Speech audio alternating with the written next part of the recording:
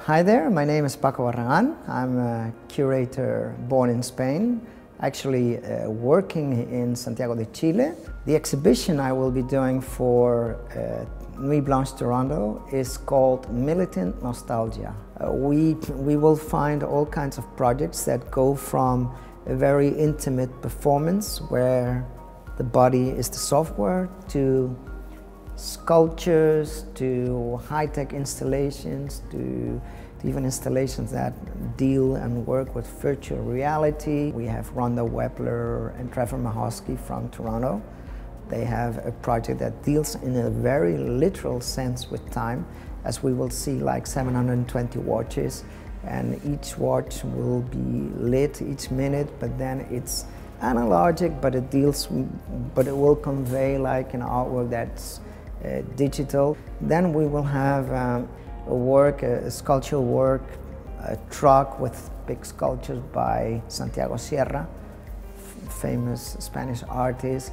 And he deals in a very literal way with death because these are all like piled up coffins. And, uh, and also with this idea of conspiracy. That's always fascinating and has always been fascinating throughout time. Then we have an, a totally different work by Erwin Olaf. He's a Dutch artist.